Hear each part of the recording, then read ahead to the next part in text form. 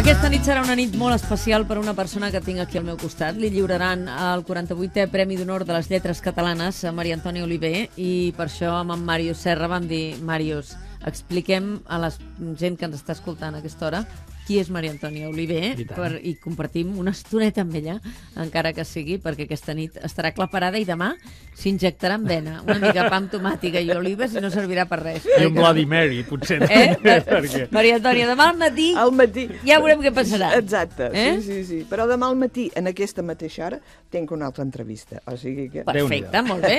És que és d'això d'això que es tracta.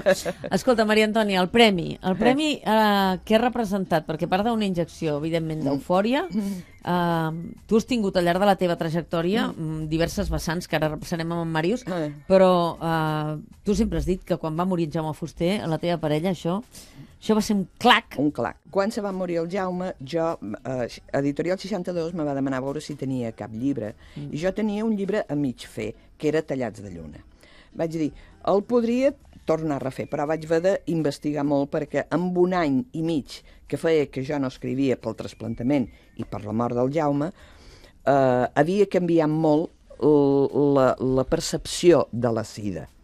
Aleshores vaig haver de tornar a fer bastanta investigació Sí. per com estava en aquell moment i vaig escriure el llibre.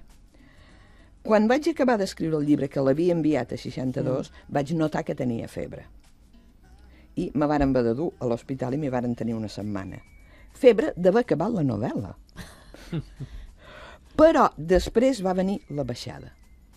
Va ser després de publicar, perquè l'any i mig que havia estat amb el Jaume mort havia estat com una... Mm, Que vius en un altre planeta. que vius en un altre planeta. I després va ser la baixada absoluta. Maria Antònia, tens la sensació Jo- que se li hauria pogut donar moltes més dones. Jo sí, jo sí. I, a més a més, ara me sent representant de totes les dones que se'ls hauria pogut donar i no se'ls ha donat, i de totes les dones que espero que a partir d'ara els ho donin. Uh, I m'hi sent, una, sent una mica representant, encara que no les conegui.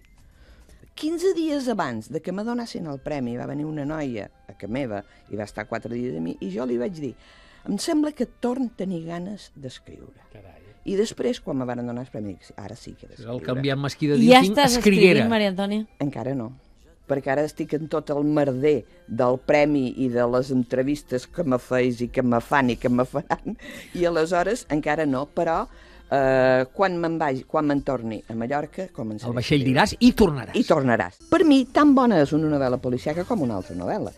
Però les novel·les policiaques ja les tenc bastant, eh, de, de la Lònia Guiu, les tenc bastant integrades en mi.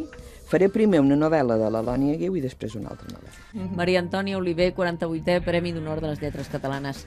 Moltíssimes felicitats. Mol, moltes gràcies. Fins a una altra i ben aviat. Adéu.